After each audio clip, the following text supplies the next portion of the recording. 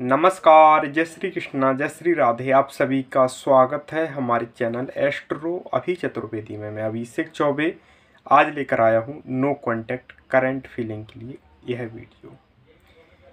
ग्यारह अप्रैल का समय, आपके लिए कैसा रहने वाला है अगर आप नो कॉन्टैक्ट में हम आपको ये जानकारी गोचर के अनुसार और चंद्र राशि के आधार पर दे रहे हैं। आपको चंद्र राशि अगर नहीं पता है, तब आप अपने नाम राशि से देख व सुन सकते हो।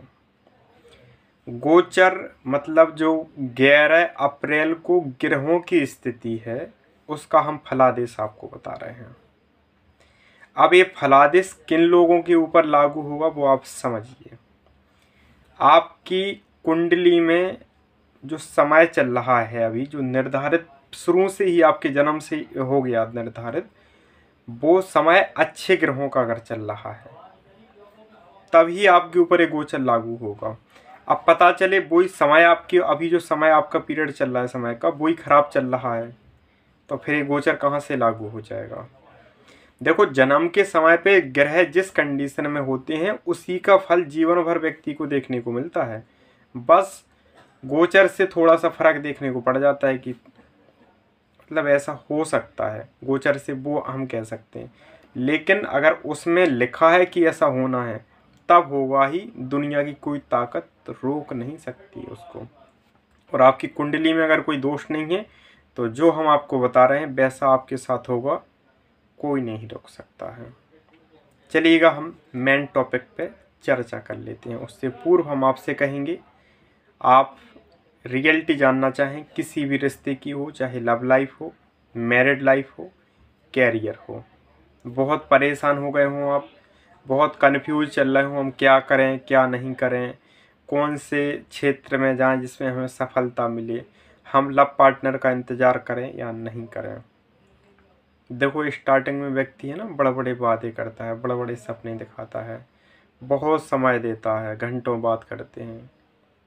जहाँ समय निभाने की बात आती है, लोग बोल देते हैं, फैमिली नहीं मान रही है और पीछे हट जाते हैं या थर्ड पार्टी के चक्कर में आपको छोड़ देते हैं। ऐसी स्थिति देखने को मिलती है, लेकिन इससे आप टूट जाते हो। शायद आप ऐसे ही टूटे हुए मतलब टूटे होंगे आप, है ना? परेशान होंगे। तो मैं आपको इतना बता सकता हूँ कि आप सही जगह पे अपना समय आप लगा रहे हो, क्योंकि यहाँ पर आपको मिसगाइड नहीं किया जाता है। ईश्वर की कृपा से अभी तक जिन लोगों को हमने बताया, हज़ारों लोगों की हमने प्रेडिक्शन की है, जो बताया है उनके साथ वही हुआ है। और आप भी रियलिटी जानना चाहो तो एक बार संपर्क कर लेना, ऐसे परेशान मत हो थोड़ा सा चार्ज ज़रूर लगेगा, लेकिन हकीकत आपको पता लग जाएगी, ठीक है? और आपका ये रोना बंद हो जाएगा। चलिएगा, हम मेन टॉपिक पे आप चर्चा कर लेते हैं। देखो, अगर आप मेष राशि के पर्सन हो तो आपके लिए ये डे बहुत ख़ास रहेगा। इस डे में आपका जो लव पार्टनर है, जो नो कांटेक्ट में है, वो आपसे मिलने की चाह रखेगा। वो आपसे बात करने के लिए परेशान रहेगा। तो मेष राशि वालों के लिए उनके जो नो कांटेक्ट वाले पार्टनर हैं, उनकी फीलिंग है ना, वो पॉजिटिव है स्टेट में। दूसरी राशि बिरसप है। आप अगर नो कांटेक्ट में हैं तो आपके पार्टनर इस डेट में आपको लेके नेगेटिव सोच रहे हैं मतलब उनकी जो फीलिंग है वो नेगेटिव है। तो स्टेट में आप उन्हें कॉल या मैसेज अपने साइड से ना करें, अन्यथा आपको दिक्कत हो सकती है, ठीक है? तीसरी राशि मिथुन है। आप अगर नो कांटेक्ट में हैं, आपके पार्टनर की करंट फीलिंग चेक करें तो पॉजिटिव है, वहाँ से वो आपको मिस कर रहे हैं और जो थर्ड पार्टी उनकी लाइफ में थी, वो दूर हो गई है। तो मिथुन राशि के लिए भी ये डे अच्छा है। चौथी राशि कर्क है।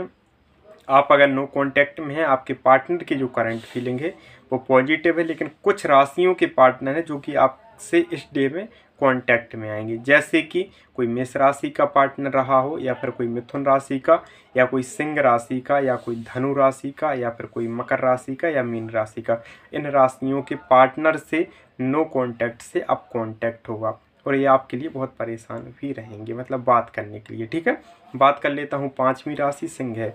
आप नो कांटेक्ट में आपके पार्टनर की जो करंट फीलिंग है वो पचास परसेंट निगेटिव है, पचास परसेंट हम कह सकते हैं पॉजिटिव है। तो इस डे में आप अगर अपने साइड से ट्राई करने की कोशिश कर रहे हो तो मत कीजिए, क्योंकि आप करोगे तो उन्हें चिड़चिड़ापन सा होगा। तो पचास परसेंट जो फीलिंग है वो उनकी साइड से वो ही कर सकते हैं, क्योंकि डे में उनकी कई बार ऐसा होगा कि वो याद भी करेंगे, कई बार आपकी जो लड़ाई झगड़े उन चीज़ों को याद करके तो इस वजह से दिक्कत हो सकती है, ठीक है? तो इस डे में आप नहीं करें, वो अगर अपने साइड से कर रहे हैं तो बात कर सकते हो। बात कर लेता हूँ छवीं राशि, कन्या राशि है। आप अगर नो कांटेक्ट में हैं, आपके पार्टनर की जो करंट फीलिंग है, वो पॉजिटिव है, वो आप मतलब आपकी लाइफ में आने के लिए तैयार हैं। बसरते वो चाहते हैं कि आप अपने साइड से उन्हें कॉल या मैसेज करें। तो आपके भी पार्टनर की जो फीलिंग है, वो पॉजिटिव हम कह सकते हैं ओके बात कर लेता हूँ, सातवीं राशि, तुला है। आप अगर नो कांटेक्ट में हैं, आपके पार्टनर की जो करंट फीलिंग है, इस डेट में पॉजिटिव है। और अगर आप इन राशियों के पार्टनर आपके कोई रहे हैं नो कांटेक्ट में हैं तो ये हंड्रेड टेन परसेंट आपकी लाइफ में इस डे में बात करने की कोशिश करेंगे। कोई मेष राशि के रहे हो, कोई कर्क राशि के रहे हो, कोई तुला राशि के, आप ही के नाम राशि के, या फिर कोई वृश्चिक राशि के रहे हो या फिर कोई कुंभ राशि के तो इनसे हंड्रेड परसेंट आपका दोबारा से कांटेक्ट होगा। इस डेट में इतनी वो आपको फील कर रहे हैं, इतना याद कर रहे हैं मतलब कि, ठीक है? बात कर लेता हूँ, आठवीं राशि वृश्चिक है। आप अगर नो कांटेक्ट में हैं, आपके जो पार्टनर की करंट फीलिंग है, वो पॉजिटिव है। इस डेट में वो आपसे बात करने के लिए, आपका चेहरा देखने के लिए, आपका दीदार करने के लिए वो परेशान रहेंगे। तो हम कह सकते हैं, इस डेट में अगर आप अपने साइड से ट्राई कर रहे हो तो अच्छा है। पॉजिटिव रिज़ल्ट मिलेगा ओके बात कर लेता हूँ, दस नौवीं राशि धनु है। आप अगर नो कांटेक्ट में हो, आपके पार्टनर की जो करंट फीलिंग है, वो नेगेटिव है, इस डेट में आप उन्हें कॉल या मैसेज ना करें, अन्यथा आपको प्रॉब्लम हो सकती है। नेगेटिव इसलिए क्योंकि वो कहीं और ही बिज़ी हैं। उस वजह से वो आपको आप अगर कॉल या मैसेज करते हो ना और आपका नोटिफिकेशन उनके पास पहुँचता है तो उन्हें बड़ी प्रॉब्लम होती है और वो आपके लिए बहुत उल्टा सीधा या नेगेटिव सोचने लग जाते हैं तो मतलब थॉट आपके प्रति आने लग जाते हैं। तो इस डेट में आप बिल्कुल भी संपर्क करने की कोशिश मत कीजिए। बात कर लेता हूँ, दसवीं राशि मकर है। आप अगर नो कॉन्टैक्ट में हैं, आपकी करेंट फीलिंग आपके पार्टनर की तरफ़ से चेक करें तो स्टेट में इन राशियों के पार्टनर आपको अनब्लॉक करके आपसे बात वगैरह ज़रूर करेंगे। कोई वृषभ राशि के रहे हों या फिर कोई सिंह राशि के या फिर कोई कन्या राशि के या वृश्चिक राशि के या कोई मकर राशि की तो हंड्रेड परसेंट ये आपसे कांटेक्ट करने की कोशिश करेंगे, ठीक है? बस अर्थिक कुंडली में प्रॉब्लम ना हो, तब ओके बात कर लेता हूँ, ग्यारहवीं राशि कुंभ है।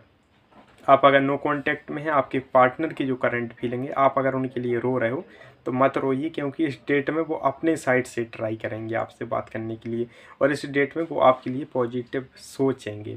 सोच भी रहे हैं मतलब उनकी जो फीलिंग है वो वहाँ से पॉजिटिव मुझे नज़र आ रही है ओके बात कर लेता हूँ, बारहवीं राशि मीन है। मीन राशि वालों के लिए यह डेट ना खास नहीं है। इस डेट में आप अगर अपने साइड से ट्राई कर रहे हैं तो बिल्कुल मत कीजिए, वहाँ से रिज़ल्ट निगेटिव आएगा। आपको हो सकता है उल्टा सीधा भी बोल दिया जाए। तो आप इस डेट में थोड़ा सावधानी बरतें ओके आज हम आपको इस वीडियो के माध्यम से इतनी ही जानकारी देंगे। कल पुनः हम लेंगे नई वीडियो के साथ। जब तक आप अपना ध्यान रखें, अच्छे से अपनी फैमिली के साथ हँसते, मुस्कुराते रहें। जय श्री कृष्णा, जय श्री राधे।